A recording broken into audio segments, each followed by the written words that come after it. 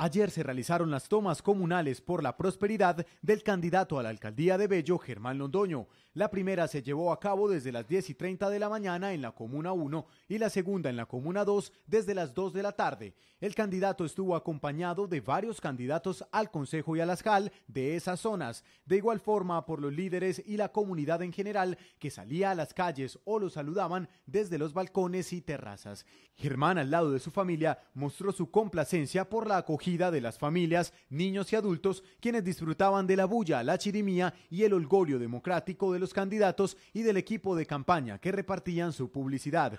Este es otro de los espacios ofrecidos por Germán Londoño a los candidatos para que muestren su unión hacia la prosperidad.